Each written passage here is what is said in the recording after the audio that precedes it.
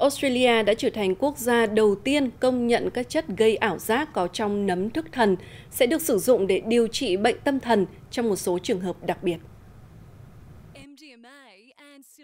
Cơ quan Dược phẩm Trị liệu Australia đã phê duyệt các chất gây ảo giác như thuốc lắc và chất psilocybin trong nấm thức thần sẽ được coi là thuốc loại 8, tức được sử dụng hạn chế, chỉ được dùng khi bác sĩ tâm thần kê đơn.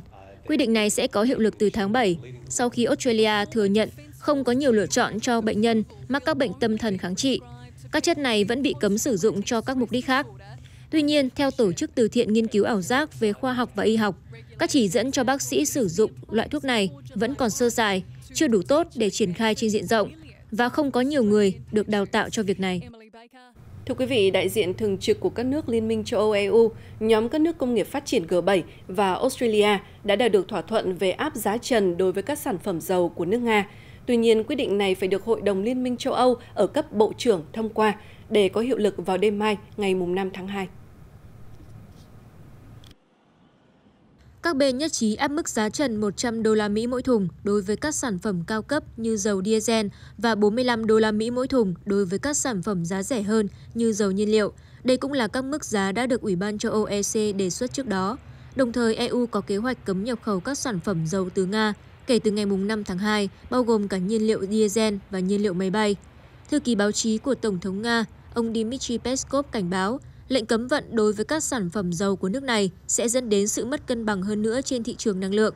Theo các chuyên gia, thực tế rằng các quốc gia không thân thiện áp đặt giá trần đối với dầu của Nga không có nghĩa là những sản phẩm này sẽ không có nhu cầu, ngay cả khi quốc gia nào có mỏ và nhà máy lọc dầu của riêng mình.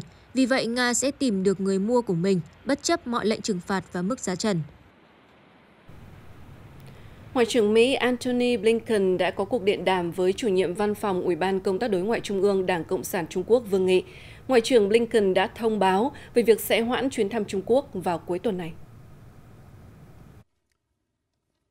Theo thông báo từ Bộ Ngoại giao Mỹ, Ngoại trưởng Antony Blinken cho biết ông sẽ không thăm Trung Quốc ở thời điểm hiện tại, trong bối cảnh một khinh khí cầu do thám của Trung Quốc xuất hiện trong không phận của Mỹ Ngoại trưởng Blinken cũng nhắc lại rằng ông có kế hoạch thăm Bắc Kinh nhằm thực hiện chương trình nghị sự được thống nhất bởi Tổng thống Biden và Chủ tịch Tập Cận Bình ở Bali hồi tháng 11 năm ngoái.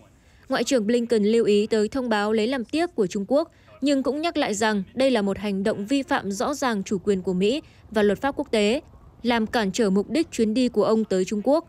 Ông Blinken cũng giải thích rằng với sự việc này, chuyến thăm tới Bắc Kinh của ông sẽ không thích hợp ở thời điểm hiện tại. Người phát ngôn chính phủ Đức xác nhận nước này đã bật đèn xanh cho việc xuất khẩu xe tăng Leopard 1 cho Ukraine. Thông tin cụ thể hơn sẽ được đưa ra trong vài ngày hoặc vài tuần tới. Chính phủ Đức trước đó thông báo sẽ chuyển giao loại xe tăng hiện đại Leopard 2 cho Ukraine từ kho dự trữ của quân đội Liên bang Đức. Theo truyền thông Đức, trước mắt nước này sẽ chuyển giao 29 xe tăng Leopard 1 cho Ukraine. Tập đoàn Công nghiệp Quốc phòng FFG muốn chuẩn bị cho việc xuất khẩu hàng chục chiếc xe tăng Leopard 1 sang Ukraine, song Đức đang gặp phải vấn đề về việc mua sắm đạn dược. Thủ tướng Đức Olaf Scholz luôn nhấn mạnh đến việc chuyển vũ khí hiện đại cho Ukraine cần được thực hiện với sự hợp tác và điều phối cùng với các đồng minh. Thủ tướng Đức khẳng định sẽ không có sự tham gia trực tiếp của các binh sĩ nước NATO trong cuộc chiến tại Ukraine và sẽ không cung cấp máy bay chiến đấu cho nước này. Tổng thống Pháp Emmanuel Macron đã chủ trì phiên họp về chính sách hạt nhân nhằm thảo luận vấn đề đầu tư và tái chế chất thải hạt nhân. Động thái này diễn ra trong bối cảnh nước Pháp đang ngày càng dựa nhiều hơn vào điện hạt nhân và phải bảo đảm an toàn chất thải hạt nhân. Hiện nay, vùng La Hay ở Tây Bắc nước Pháp là địa điểm duy nhất của nước này có khả năng xử lý và tái chế một phần nhiên liệu hạt nhân đã qua sử dụng. Các bể chứa làm nguội nhiên liệu hạt nhân tại cơ sở ở La Hay có thể đầy vào cuối thập niên này và công ty nhà nước Orano cho biết chính phủ cần đề ra chiến lược dài hạn để hiện đại hóa các cơ sở tái chế trước năm 2025. Kể từ khi đi vào hoạt động vào năm 1976, cơ sở La Hay đã xử lý gần 40.000 tấn vật liệu phóng xạ và tái chế một phần thành nhiên liệu hạt nhân có thể tái sử dụng. Tuy nhiên, bốn bể chứa làm nguội hiện nay có thể đầy vào năm 2030. Khi đó, các lò phản ứng hạt nhân của Pháp sẽ phải đóng cửa. Theo một kế hoạch cất giữ lâu dài chất thải phóng xạ, chất thải sẽ được chôn sâu 500 mét dưới lòng đất trong một khung đất sét ở miền đông nước Pháp. Dự kiến cơ sở sẽ được xây dựng vào năm 2027 nếu như được phê duyệt.